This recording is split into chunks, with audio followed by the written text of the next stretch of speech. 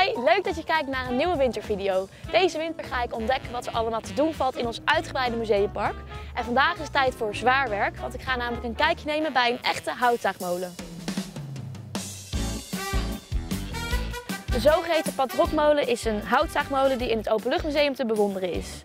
Dit jaar is de molen ook geopend in de winter voor publiek. De oudste delen van deze molen komen ongeveer uit 1690. Dat is echt super oud dus. Vandaag ga ik helpen bij de Patrokmolen en ik ga kijken hoeveel planken je op één dag kan maken. Ik ben benieuwd. Nou, ik heb hier uh, in de Patrokmolen met Mark afgesproken, dus ik ga hem even zoeken. Hey!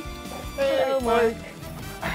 Nou, je bent al lekker bezig. Ja, zeker. Je komt echt als geroepen, want Ja? de wind is aan het draaien, dus moet de molen meedraaien. Oh, De molen die kijkt altijd met zijn wieken naar de wind. Ja. En als de wind gaat draaien, ja, dan eh, zullen we dat moeten volgen. Oké. De wind is de baas. Ik ben heel benieuwd hoe dat gaat. Oké, nou het eerste wat je moet doen is je lange jas uit, want we gaan even heel hard werken. Oké. Dus, eh, Nou, dan krijg ik het vast warm, hopelijk. Nou, als- laat me zien. Ja, als jij daar eh, die zwengel wil pakken, Ja. dan pak ik deze. Ja. Dan gaan we nou de kruikkabel oprollen. Doe maar met twee handen, dat gaat het beste. Dat is 40.000 kilo wat we nou aan het verplaatsen zijn. Nu op dit moment al? Ja, op dit moment, ja. Maar het valt wel mee hoe zwaar dit is. Als het 40.000 kilo is, wat we Ja. het plaatsen Ja, of jij bent gruwelijk sterk natuurlijk. Ik denk dat Ik het dat, denk dat dat moet het het is, zijn. ja. En is het, heeft het ook een reden dat deze molen aan het water staat? ja, een heleboel tegelijk eigenlijk. Maar het belangrijkste is wel het transport van eh, de bomen.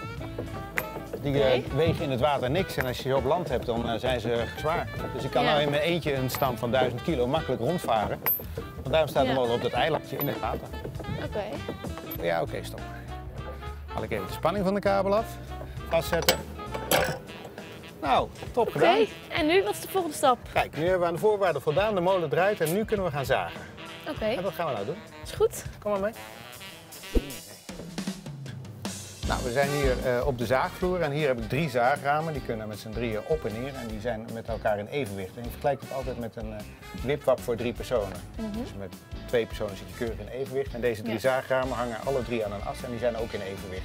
Oké. Als ik de molen nou aanzet, dan gaan ze beurtelings naar beneden.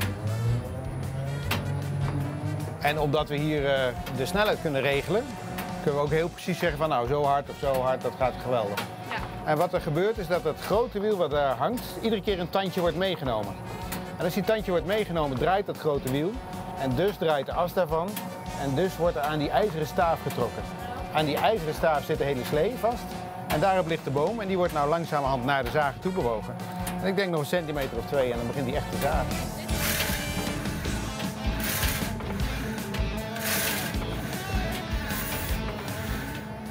Waarvoor is dit dan precies? Dit is om de stam netjes op de plek te houden, want die wil natuurlijk niet gezaagd worden. Wacht Je moet even. met één hand een beetje duwen daar. En dan zo, ja, precies. Dat. En sinds wanneer ging men eigenlijk eh, bomen zagen met behulp van de molen? Nou, met watermolens deden ze dat eh, al heel veel eeuwen, maar met de windmolen weten we dat vrij precies. Dat is eh, 1593 geweest. Oké, dus dat is echt heel lang Dat geleden. is echt heel lang geleden. En eh, Ja. daarvoor werd alles met de hand gezaagd.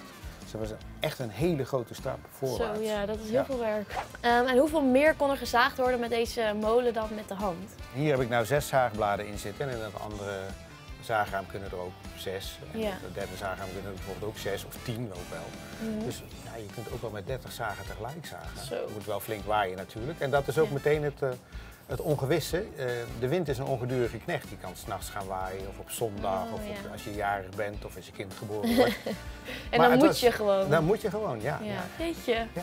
Dat hout werd gebruikt voor het eh, bouwen van schepen en het bouwen van pakhuizen en woonhuizen. En eigenlijk overal waar je gezaagd hout voor nodig hebt. Oké, top. Laten we maar weer eventjes aan het werk gaan dan. Ja, vanzelf gebeurt het niet. Kom, Precies. Gaan we. Mag ik hem ook even aanzetten? Ja hoor, je weet hoe het werkt. Ja, oké. Dus deze draaien. Daar gaat hij.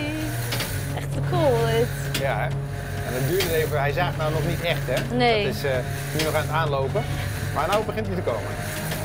Daar gaat hij. Woe! Vet hoor. Nou, hartstikke bedankt. Vond het super cool om te zien. Eh, en tot de volgende keer. Misschien. Doei. Nou, ik heb vandaag een handje geholpen bij de Paltroekmolen. Wil jij dit nou ook doen? Dan kan dat nog tot en met 19 januari 2020. Dit was helaas alweer de laatste wintervideo voor dit jaar. Ik zie je heel graag weer bij de volgende video. Doei!